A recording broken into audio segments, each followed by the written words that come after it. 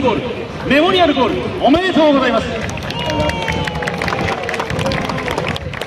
ンターサークル付近からのまあロングシュートでしたけれども狙ってました？まあ、キーパーが出てることは分かって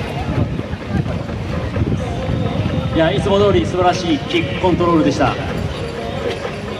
ちょっと別性かなというそんなことないですよね。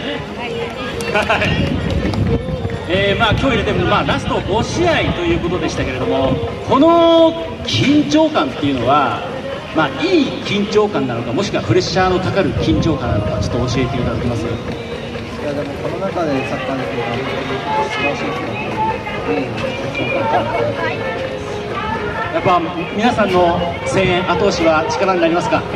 そうですね。本当にホームにたくさんの応援があると選手しっかりプレーできるえーちなみに1000ゴール決めたゴールがこちらにあるんですよね。この中周りのね皆さん、えー1000ゴールあの投票やってたんですよね。投票した人います？あ。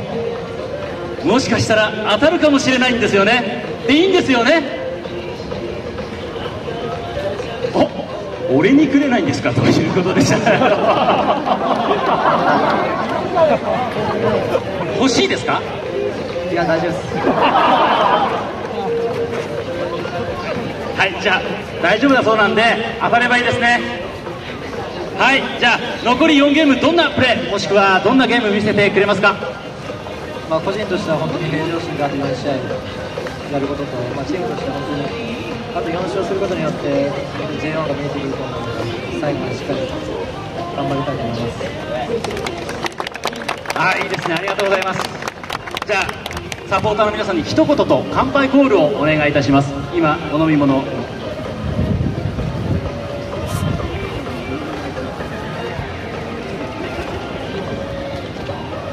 えー、起立お願いします。